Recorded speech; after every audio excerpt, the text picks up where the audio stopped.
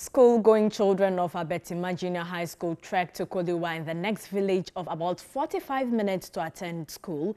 This is because the community has no structure for junior high school. Bright Nanamfo reports this has resulted in some kids dropping out after primary six. School infrastructure is a key development challenge. Abetima is a farm community. Incomes are low Many kids in school can only access primary education. Some kids at the primary level were taught under trees, though the district is working hard at improving education.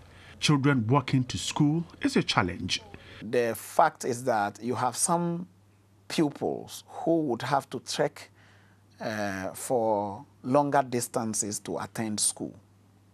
Now, observing this, the district assembly, the MP, the leadership, under our watch identified some few strategies by which we could uh, mitigate this challenge.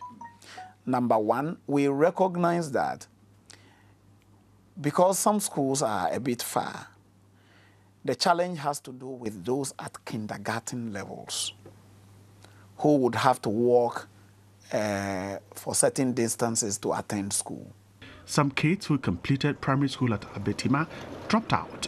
Trekking to school at the next community was a headache for residents whose desire to see their wards educated is high. Most of them feel lazy to walk from here to the next village for. So most of them complete their schooling the moment they are done with their classes here.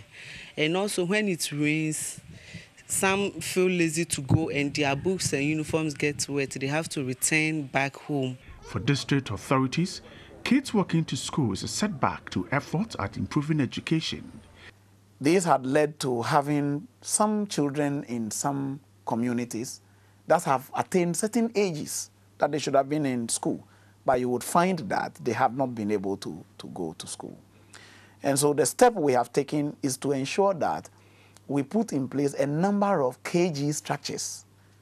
The intention is that, yes, if we are not able to put a full school for now, we can still allow these children to start going to kindergarten.